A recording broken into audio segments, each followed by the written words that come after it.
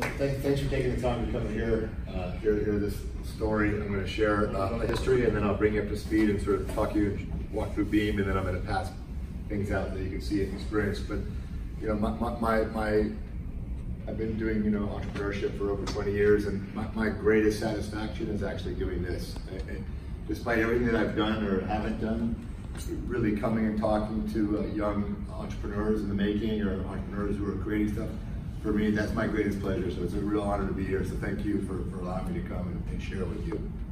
Um, just very quickly, went to Babson, studied entrepreneurship. Uh, I, I, loved it. I'm a huge fan of, of the college. Um, when I got out of school, when I was at Babson, I invented a product and uh, when I graduated, I, I, didn't follow up on that. And then some years later, after being uh, kicked out of a number of companies because I, I, my first jobs were uh, working in real estate development, and uh, I was doing things sort of my own way, and my bosses kept coming in and, saying, "Hey, I just can't. You know, you got to follow the rules. You got to do the way that we're supposed to do it." But I, I had a hard time doing that because I always had my own ideas. And, and finally, my last boss sat me down. He's like, "Andrew, I really like you, but." you know, you're not going to ever be satisfied until you're doing your own thing and your own boss. And, and he, he was really right, and I, and he, that was right. So after that, after that last episode, I'm like, okay, I got, I got to do my own thing. So I, I, uh, I went back and picked up that invention that I had created at Babson, and, and it was now seven years later.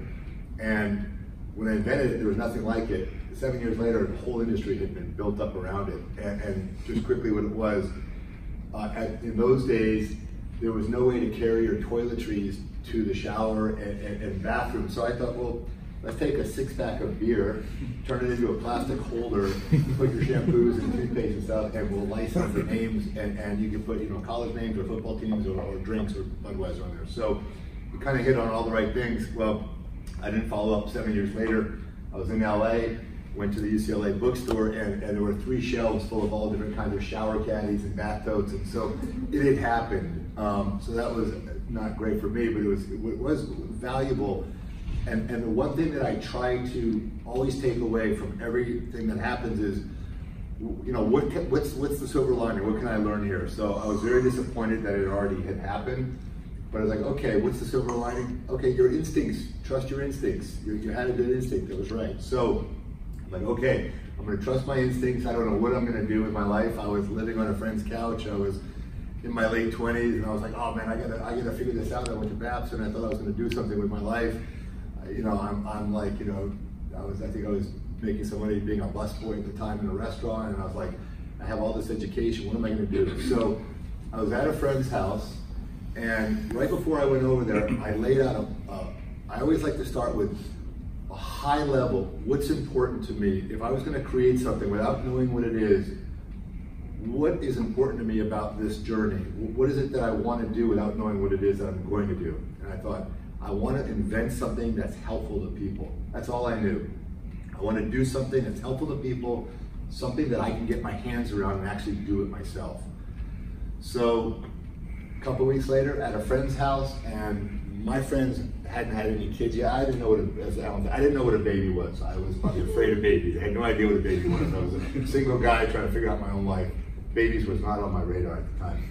But I was at a friend's house and her older sister was breastfeeding her baby, and I just happened to be there by chance, and she was just talking out loud about how all of her girlfriends were nursing their babies and uncomfortable, having a hard time. It was really challenging. It was it was painful. It was challenging, and it wasn't as obvious and natural as one would think. And she said, God, if somebody could invent something to make this more comfortable, every woman would benefit from it. And, and it was like, a lightning, you know, rod went off my head, and I was like, really? And I started asking questions, and sure enough, the next few weeks, I just started going to baby stores, trying to learn about baby products, and, and trying to find new moms who were breastfeeding their babies to ask them about their experience. So it's, it's a whole nother story for another time, but the short version is I got convinced there was a need. I, I started dreaming up, based on all the products that were out there, how could I make a better version of what, what was needed? I started dreaming up. I looked at everything that was out there and saw all the issues with it and learned about the issues. I said, okay, how can I create something that solves all those issues? And I slowly got this vision for this breastfeeding support pillow that moms would wear when they're nursing their babies. Of course, I came home from LA back to San Francisco and told my family, okay, I know what I'm going to do with my life. I'm going to invent the world's best breastfeeding support.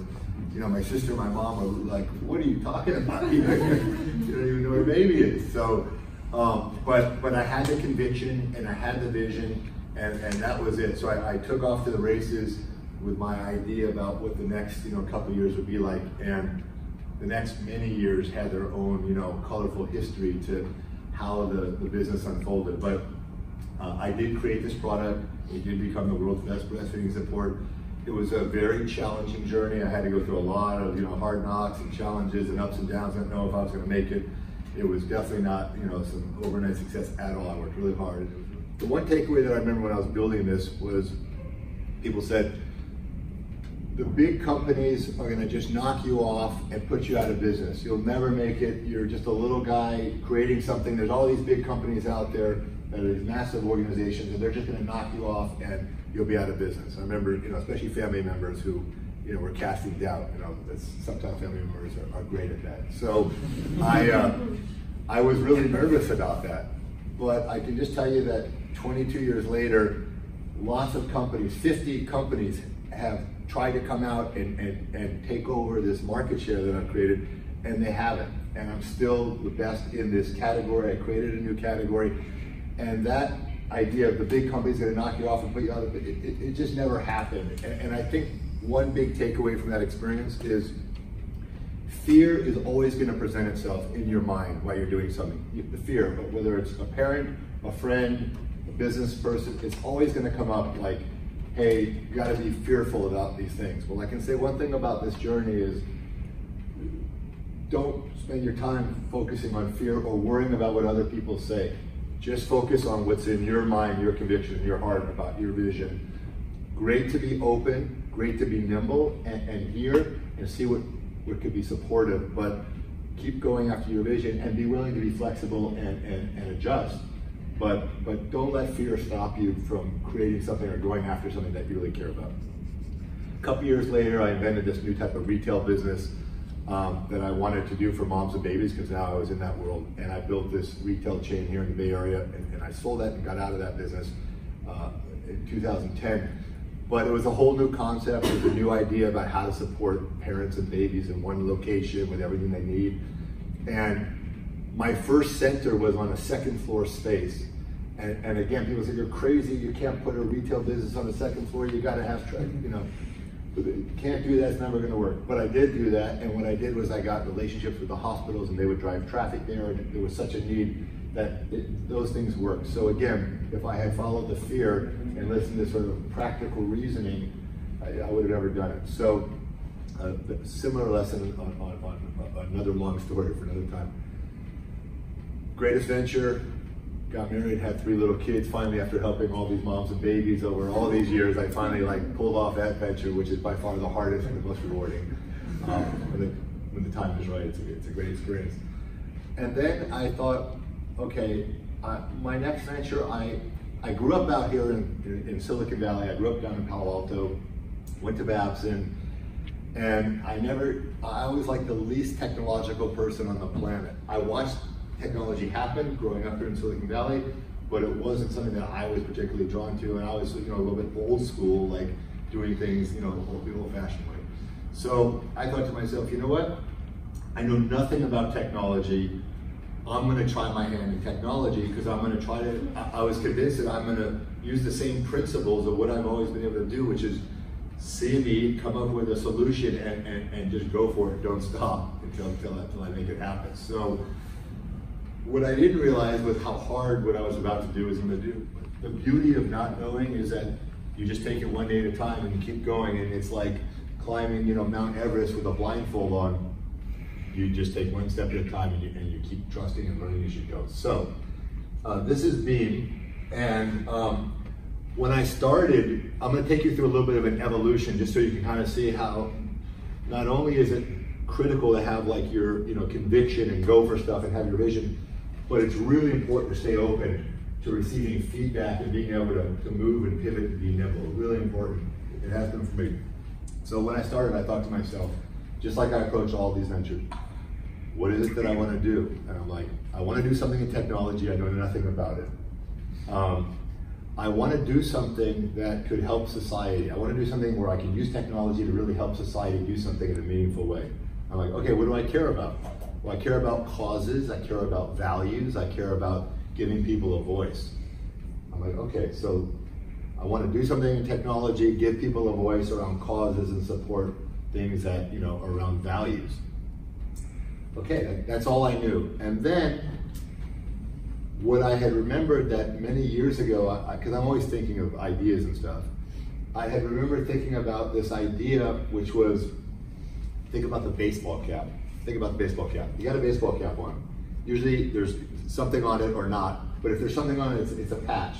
So you, so you live your whole life with this one patch on this one baseball cap. So I started thinking, what about a baseball cap that had interchangeable parts? A little bit like when the Swatch watch happened, you could change bands and things. So I started thinking, what about if I came up with a modular baseball cap and then sold separate parts. So I'm going to a Yankees game, I can put this, and I'm going to a you know 49ers game, I can put that on. Not to be a traitor, but anything I want, my university or things that I care about or fashion statements or values. So I'm like, okay, I'm gonna reinvent this whole baseball hat concept with changeable parts where you can put your values on and wear things that you care about, and then you can have a whole collection of cool things that you can put on your baseball cap. And based on your day and your mood, you put on whatever it is. And so I called this Karma Caps because I thought, you know what? I'm going to create this new kind of cap called the Karma Cap. You create your own karma. You wear this hat, you put the stuff that you want in your life that you care about and you want the world to know about, and you're going to manifest it. So that, that's 15 years ago what it came into my head. I was busy building my other business. So I didn't have time, but I kind of just put it on, and wrote it down and put it down. I actually trademarked the name Karma Cap. Now, flash to 15 years later, I'm like, okay, I want to do something in technology. So that flashed on me, and I thought, technology has totally changed now. This, this, this is before there were screens and displays. I'm like, okay, what about a baseball cap with a display on it, with a screen on it? So now it's a digital version of what I had been thinking about. So, and I'm like, and then how about if I tie it into all these, you know, causes and philanthropies, and now I can wear and share the things that I care about and do it with, you know, a way to donate and, and build causes. So I had this very altruistic idea, which was, I'm going to use technology to connect people in the real world. Because I thought there was so much infrastructure going into connecting all of us online, but what's happening to the face to face? If we just keep getting connected online, but we lose the connection as one human to another, I, am not so sure that's good for society in the long run. So I thought, let me create technology that connects us in the real world so that we keep talking to each other. Walking down the street, I like what you have in your hat, or tell me about that, let me learn from you. So my whole premise was connecting people in the real world. So this is what I originally started was, it was about create and express what you care about through fashion and dynamic platform for positive change. So I was gonna come up with these self-expression products and use it in, a digital way. I'm gonna go through this quickly because there's a lot to cover, but um, the whole idea was that you know people wear baseball caps, and now there's ways to bring that into the you know bumper stickers, T-shirts, and now we can do sort of dynamic versions of this through technology and I was showing that everybody's wearing causes and t-shirts and it's all out there. Let's digitize this and give people a real platform to, to wear and share what they care about. This is the future. By the way, this is my deck three and a half years ago when I started this venture, okay? And I'm gonna show you the deck now, what happened, but just to give you, this is where I was three and a half years ago. So it was, it was, you know, be the change, on your karma cap, It was digital bumper stickers and bands that could change, and it was all connected to this platform where you could donate, and then you'd get the imagery and you'd share it. You could put it on social media. Very big vision, very altruistic about how I was going to do my part to bring people together, and uh, um, you know, how how the, how the whole platform would work, and uh, you know, wearing, sharing online, sharing in the real world, connecting people, telling what you care about my whole plan was getting sports events, you know, getting Beyonce and Jay-Z behind the causes they care about, get them wearing a, a karma cap, and, and, go after the folks that could really get this out there. You know, I had all kinds of ideas. You know, so this is June 14th, so this is five years ago actually, when, when almost five years ago when I was first like brainstorming coming up with this deck. And uh, so here's the initial thing. I'm gonna do some funding myself, and I'm going to put patents together, start building product. Then I'm going to go out and get my teams together and and, and build demos and and, and get funded and, and get some VCs on board. And I figured, okay, the thing that I didn't do with my last venture was I never started with a team. I started with myself, and I sort of, you know, struggled along and slowly got a team to it. So I thought, okay, I'm an experienced entrepreneur. I'm going to get a great team, get a great demo, get a great app together, and if I show up in front of VCs with, you know, I've got 20 years of experience, I've got a, a, a, team of five very experienced people like me. I've got, here's a demo of the whole, how the whole app works. Here's the actual product. There's nothing to do except fund us and, and we're gonna roll it out. So that was the plan. It didn't work out that way, at all. so, so, so that was the plan, okay? So uh, I, I raised some money based on my deck and everything. I got some people, okay, this guy Andrew, he's motivated, he, you know, we, we, like his vision, okay, go for it. And I got a lot of people who were very philanthropically oriented, so they liked the spirit of what I was going for. Spent a year and a half developing the technology. When I got into trying, so first of all, I was getting into developing hardware, you know, you know, developing electronics. So from a guy who was using a Rolodex trying to figure out how to develop electronics. It, was it was a great a great uh, learning curve. But when I got into trying to build this baseball cap with all of this, it, it was so complicated and so the, the, technology was not there to make it actually reasonable at this time. But I did what I did come up with. Okay, can't do the cap, can't do the band because of power, but I'm going to come up with an idea of like a versatile button. I like buttons. Buttons in the 60s and the 80s, it's all about self-expression. So I'm gonna come up with a button that you can wear and then from your app, send stuff through Bluetooth on your button and simultaneously share it on social media. That was the vision. After a year and a half, raised a couple million dollars, developed the, the first button, which was a little bigger and thicker, built a, an incredible app that sent stuff through Bluetooth, got causes involved. I, I, and, then, and then I spent a lot of time putting this like dream team together. So I, I hired all these people. So I had five of us on the team with a great product and a great app. I'm like, okay, there's nothing left to do except go meet with those VCs, get that money, and, and build this thing out. So, so that was the plan. I figured it was definitely going to work, and met with the first VC. Hey, Andrew, really interesting, really cool, but you know, you, you, you need a better demo. Okay, wrong VC. I'll go to the next one. Hey, Andrew, really great idea. I've never seen anything like this, but uh, you really need to generate some revenue. Hey, anyway, long story short, I went and met with 65 VCs in 90 days. And each one is a you know hour presentation and getting grilled by everybody.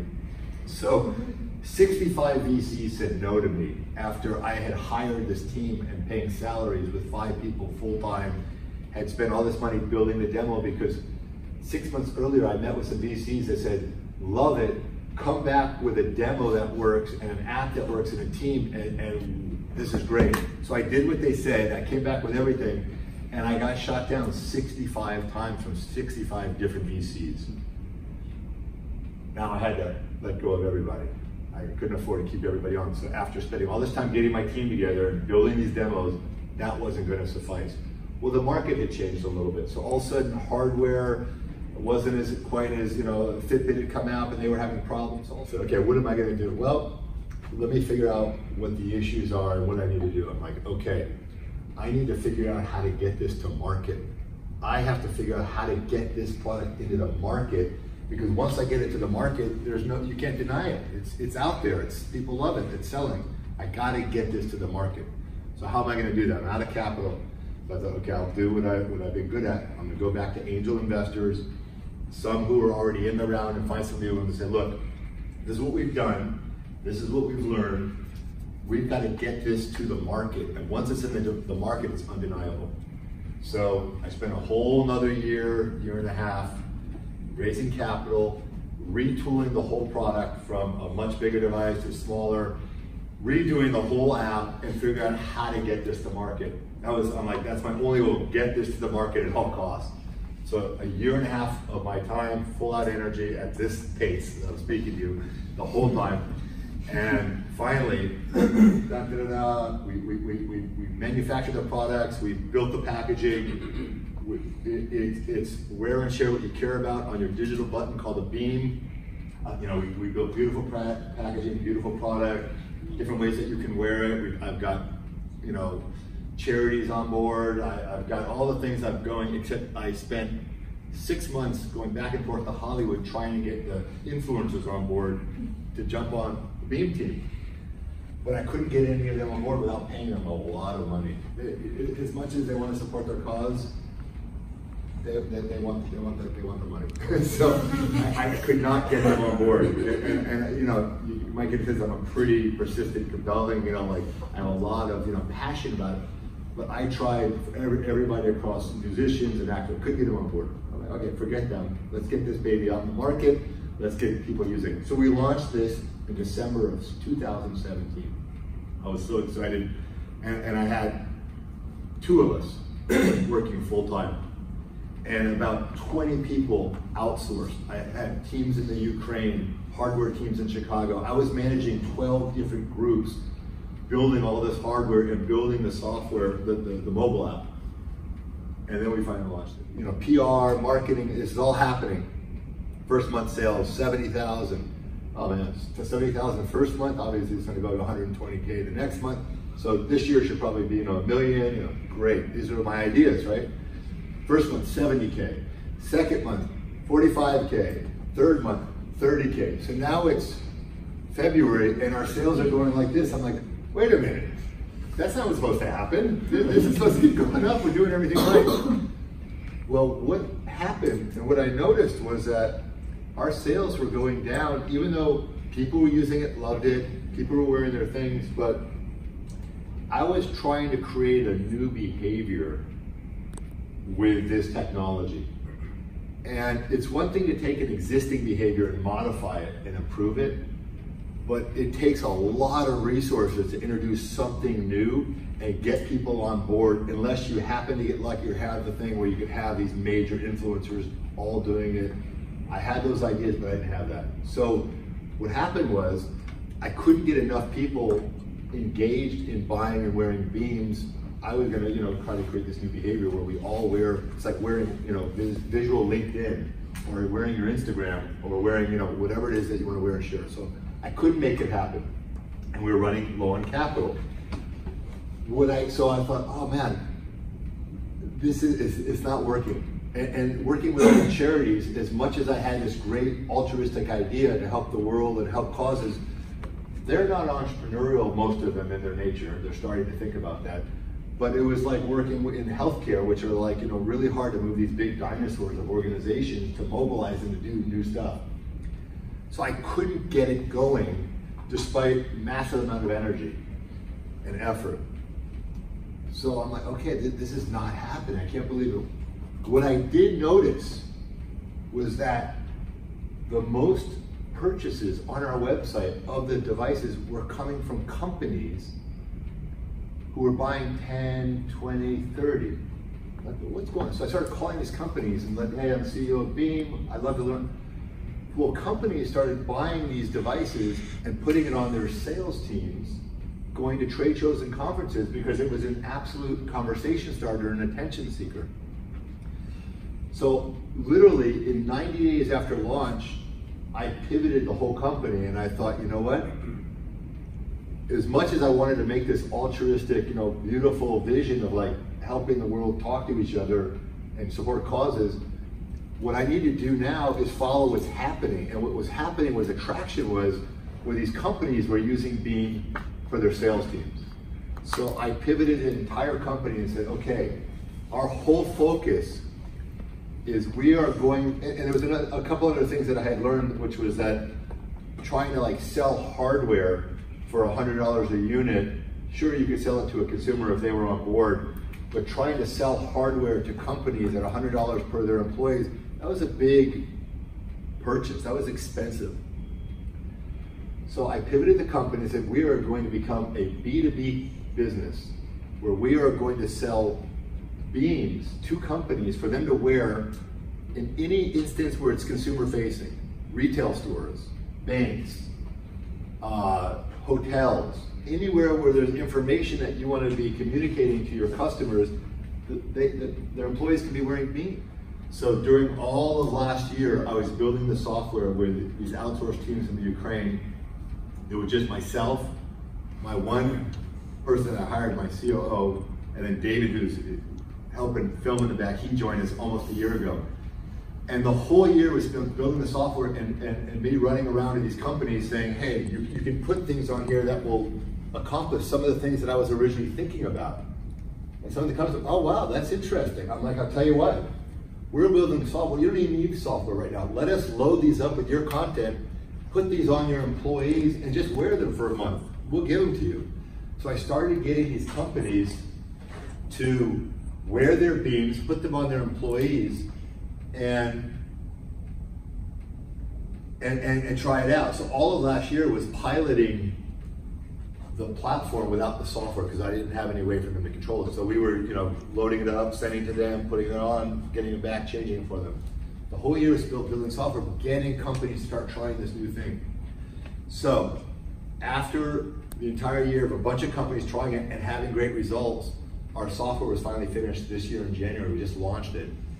And we, uh, and I'll go through this really quickly. So, so I'm actually raising a new round right now based on a, a SaaS, we're a SaaS business that happens to come with hardware. It just, it's included in the price of the SaaS. And now all these companies that were like, oh, we don't buy hardware, it's too expensive. Oh, you have SaaS? Okay, well, we'll, we'll license SaaS. This is great, reoccurring revenue every month. That's what they're used to, that's great for us, that's great for them. So the whole thing about pivoting into a SaaS was, was, was necessary. And the, the premise is still the same, connecting people in the real world. The other thing that we did was I convinced these companies to put information on here about the employee. Because all companies that are consumer facing, from fast food to retail, they're all struggling against Amazon because Amazon's online and they don't have the overhead of, of, of real estate. So all of these companies are trying to figure out how to have a more meaningful customer experience in store. So I'm like, here's one way to do it. Have your employees put on here their name, where they're from, something that they're passionate about, whether a football team, a picture of their kids. Engage the customer from a human to human experience and then talk about what you're selling. So these companies have done that. Well, the first thing is the employees love it. Like we're working with Safeway, for example. You're, you're, you're, you're a cashier at Safeway or bagging groceries at Safeway. You're a number in a very big organization. But all of a sudden to be able to be asked what you care about and wear that picture of your kids or your dog or you're like hiking or you're from New York or whatever it is, these employees lit up. They loved it. And the company's like, oh wow, our employees feel empowered and validated. So this became our model, which is Beam is about learning and sharing things about your employees, about connecting with customers, informing them about your corporate initiatives. And this is this is the future of, you know, with the original name tag, which which was about connecting people. So this is so we've launched, we've just actually rolled out our first SaaS company. Um, a guy named Ron Johnson who worked with Steve Jobs to build the Apple Store. He has a delivery company, some of you might know it, Enjoy. If you order like a Sonos or some technology, they come to your house and they, they deliver your equipment. And it's a really, it's like the Apple Genius Bar comes to your house and it's free to you. So anyway, I, I met with Ron, he loved it. He tried it on his delivery team. They loved it, the customers loved it. And so after a year of testing it, they just rolled it out with our SaaS. So he was our first corporate rollout. But let me just show you, remember that first deck? Let me show you, here's the deck that I'm actually running around now, raising money with VCs. We have, we have revenue, we have, you know, corporate traction. I, am not convinced that the VCs are gonna fund this, but it doesn't matter, we'll figure it out. So, so um, basically the concept was everybody's busy with their screens. Uh, how do you engage more in the real world? Well, use the screen to connect. So wear and share, and, and it does all the things. It informs, it engages, it connects, uh, it, it, it empowers the employee it, it's a powerful experience uh, in, in, the in-store experience.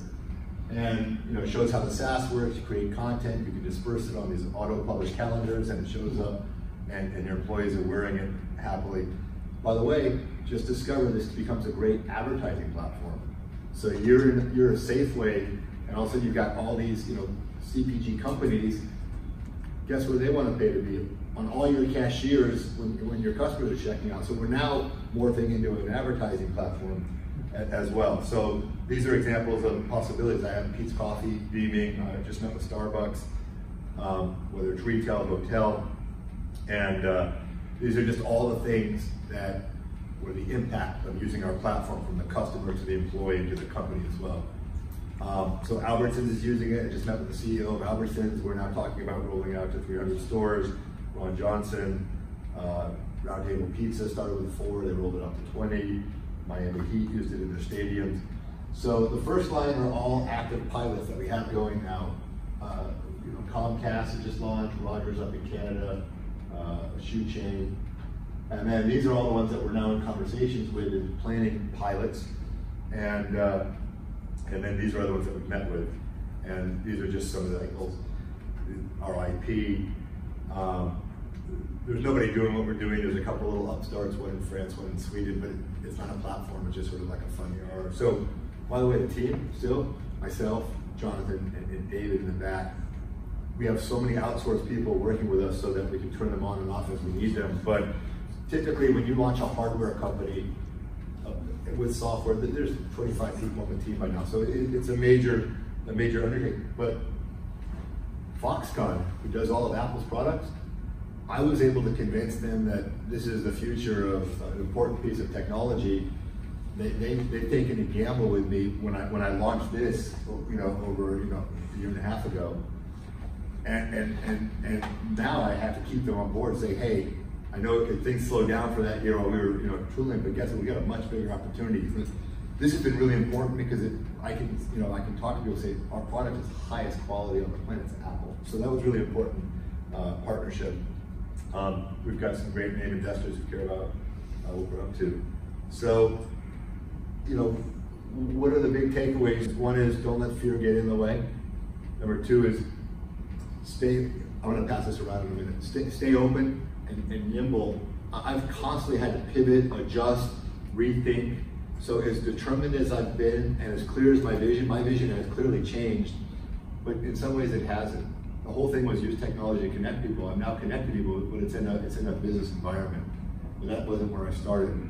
So the, the, the essence of it is there. But I had to stay open, I had to receive feedback, and I had to be willing to retranche, go back, you know, start again. Yes, if you pick things that you are that you learn something about, or you know you work in an industry and and, and, and branch off from something. You know, you follow that.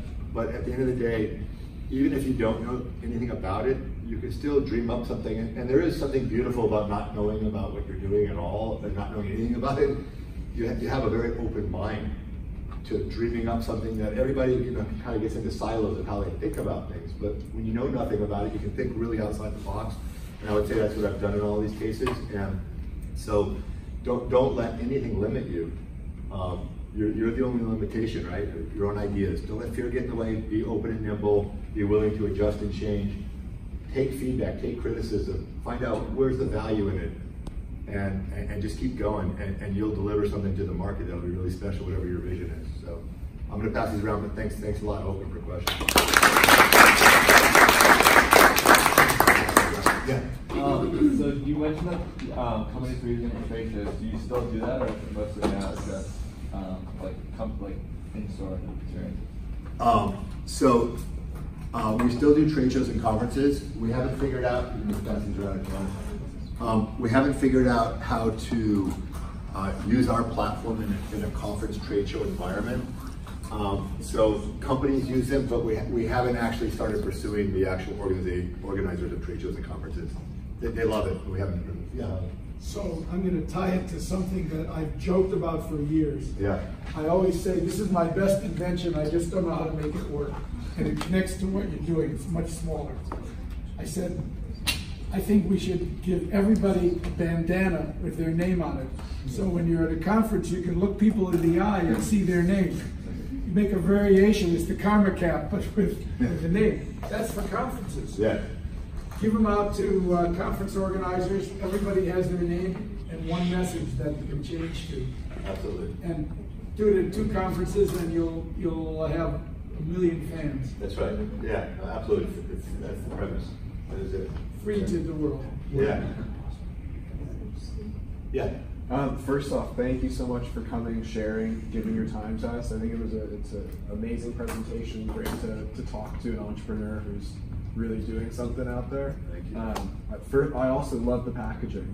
I think that's, that's something that stands out. Um, so you mentioned that you came from not having a technical background Yeah. to sort of becoming a project manager for these these 12 different technical people Yeah. spread over the world. Right. Did you learn any technical skills to be able to, to talk to them and, and sort of maybe how fluent in those different areas did you or have you become? Yeah, that- that's a great question. So the answer is yes and no, and I'll qualify it. Um, you know, I learned some of the language, not, not coding. I can't code. Um, I, I learned a little bit of the language, and I learned the, the, the structure in which mobile apps and software is built, and, and how that process happened. So I went from having no idea about any of it to learning how, how, how do you create software, how do you create a mobile app. So I learned how it works. So I can, I, I, I know the process, but no, no, the answer is I really don't, I'm, I'm not technical still, but I, but I understand a little bit of the language of how you build it. And, and I think it's a, it's a beautiful thing because you know, I was able to continue to manage teams without knowing what I was really managing, um, just because I could look at the result and say, okay, this is how it's working, but I want to shift this, and then they'll go back and redo the code. But um, I, learned a little bit of the language, how to speak the language a little bit, but and, the process. But but no, I'm not more technologically, you know. Same thing with building consumer electronics. You know, I led the manufacturing of these devices, but you know, I, I, couldn't tell you a hundred of the components, and you know, I- so I, I can manage it, make it, make it happen, but no, I, I- still don't know much. Uh, so I know you graduated a long time ago, and Yeah. uh, you must learn lots of skills along the way of your entrepreneurial uh, experience. But what is one of the most important skills you feel you learned? Or you- That's a great question. Um, I mean, I would say the most important, I, I studied entrepreneurship at Babson and marketing, and um, it, it, gave me a framework about understanding, two, two things. One, a framework about how does business work, how does a business work, and how does a business within an industry, what's the relationship? But really the different components of a business and the relationship between, you know, marketing and sales and just all, all, all, all the relationships of how the mechanics of, a, of an enterprise works. Number two is I, I did, you know, write business plan and at Babson and I had to present and, and compete and stuff. So uh, it certainly helped me think about structuring a business plan. Um, and then I think the third thing was I was at Babson in, in, in Boston. For me, uh, I made a lot of great relationships, especially we had such a strong international student body, and I was really drawn to the international student body. And I built incredible relationships that are lifelong relationships from people all over the world. That was, you know, probably the most valuable part on a personal level of friends and also just connection and stuff. So people connections and then understanding the nature of how, how an enterprise works. Yeah. Yeah. Hey, uh, thanks so much for coming. Um, so I have two questions that like kind of addressing different stages that you were at. So for your first business, uh, when when you didn't have a pocket reputation, a suc- successful exit, and uh, you weren't necessarily in the demographic that you were targeting, Yeah. and like you didn't have those connections, what was like your your first few phases of your business like, and what was your go to market like? Yeah, great, nice, nice question, thank you. So, so uh, my, my premise was um, a friend of mine from Babson was getting married, and, and, and he wanted me to come to his wedding. I was living in San Francisco. This is going to tie into the answer. I was living in San Francisco. He was getting married in New York. I couldn't afford to fly to New York. I was, you know, starving, and. Uh, he's like, I really want you to come to my wedding. My, my wife, my fiance, and I are going to pay for your ticket to come to the wedding. Well, I knew some of my buddies from Babson were going to be at that wedding, and there was Friday night was a bachelor party. Saturday was the wedding. It was a very fast-moving event. so after the bachelor party on Friday night, I got four friends who had known me at Babson, knew that I'm pretty, you know, I have a lot of conviction, and I sat them in a room, and I said, guys, this is what breastfeeding is about. This is what's on the market. I'm going to invent something that's better, and I need to raise twelve thousand dollars. I need three thousand from each of you. And if you invest the three, I'm going to invent a prototype and then you can see what the product is going to be. That's what I need. So my first day, and they're hey, they were trying, hey, great, you know. but they, they, they did. It took me about 60 days to collect, but but three of the four came through. So so the plan was, my plan was first build a prototype. And, and get enough money together to build a prototype so I have something visual that sort of unlocks the mystery of what I'm talking about. So that was phase one, build a prototype, something that people can see and touch, even if it's you know, very sparse, but something that people can get their hands around and see and understand. And, and, and, and then phase two was, um, uh, I'm just trying to remember. So phase one was a prototype, and then, and then phase two was taking the prototype to sort of the next level and figuring out some manufacturing for that prototype. How, how am I gonna, how am I gonna mass produce it? I mean, I've got lots of stories about that as baby steps. But prototype, then how to mass produce that prototype, but you're gonna have to finesse the prototype into the actual thing. That'll take time. Well, while that's going on, then it's about understanding the market, going out to the market and figuring out where you're gonna sell it. And, and, and going and talking to whoever you're gonna sell it to and start entering, hey, here's my prototype, this is what's coming. Um, I, I, my first trade show for baby products, I went with this prototype. I didn't even have I, I wasn't even manufacturing, but I ran around and got these reps come back to my hotel room, show them the prototype, and say, this is the future of breastfeeding. These products are going to happen. So I think if you can get something visual that people can touch and feel, uh, use, explore, and then also try to start thinking about sales and marketing while you're figuring out the manufacturing sort of simultaneously. That, those are sort of the, the wings that come to mind.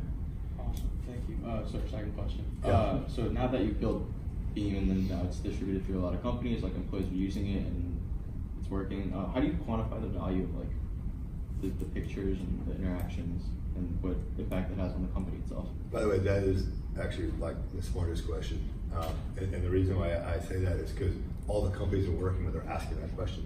So you, you honed in on exactly the right thing. And it's something that I'm actually trying to figure out.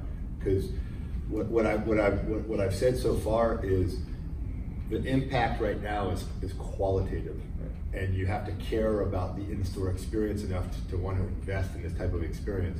How do you quantify that ROI? Yeah. You know, how do you how do you quantify that ROI? And so, if this is a little bit philosophical, but it, most companies, if you go into like manage talking to managers and stuff, they're going to want to talk about you know what's the ROI, how much we put in, and what are we getting out? What's the bump on sales? That, that's sort of a typical place to focus, and it, they need to know that. But what I try to do is get them into a different paradigm of thinking about what success could look like. If you're in their world of what success is, it's going to be a hard sell, especially with like Beam in this situation, because I can't tell you right now how much it's going to drive your sales yet. We don't know. We don't have enough time. Time, we'll figure that out too. I try to move them into a different paradigm of what success could mean. Like think about if you think about like Weight Watchers. If Weight Watchers said, the only measure of success is losing weight. Everybody comes in looking at the scale. Did it work? If that's the one thing that's success, did I lose weight? Did I lose weight? If it didn't, if your scale didn't change, you're having an unsuccessful experience. But, but maybe there's other things that could qualify success, like somebody's attitude about how they're feeling about themselves, or uh, meeting a friend who's having a shared experience. So what I try to do is get these companies thinking about a different paradigm of how, how you measure success. So I've actually provided them like, here's how we think about success. Yes, revenue and bumps is important to make come, but here are other things that are qualitative that I don't know that you can put a price on right now. Let's go in there. So I'm working in that area and, and, and I'm inching them along that way.